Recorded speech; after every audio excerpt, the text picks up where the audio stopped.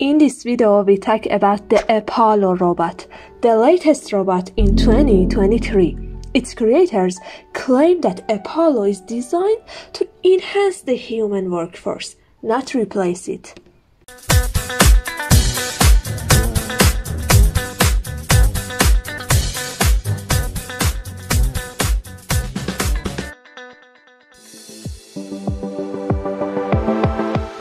A company has created a humanoid robot named Apollo that doesn't flinch when performing difficult tasks.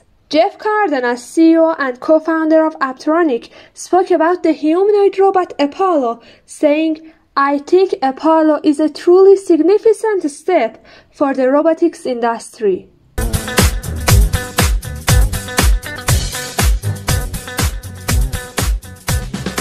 Apollo is the size of a human, standing at approximately 1.7 meters tall and weighing 72.6 kilograms, with the ability to lift 25 kilograms. Cardenas stated the potential of this robot is limitless. However, he is intended to start working in warehouses, initially moving boxes from point A to point B.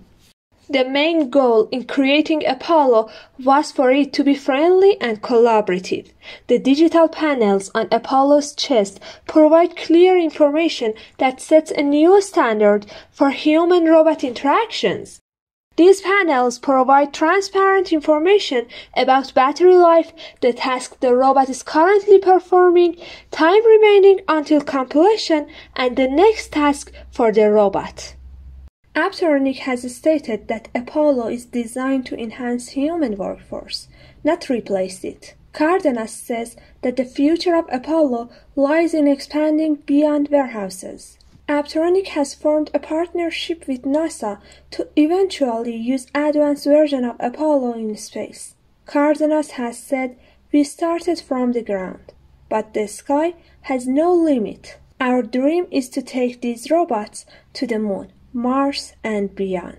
This humanoid robot is generally designed for a 22 hour workday and uses a replaceable 4 hour battery. The creators of Apollo initially intend to use it for logistics related tasks and have the robot take on challenging roles inside warehouses to improve supply chains by addressing labor shortages. However, Apptronik's long-term vision for Apollo will continue for at least a decade into the future.